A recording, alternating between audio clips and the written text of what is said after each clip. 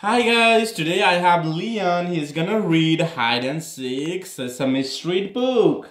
No, Daddy. It's good.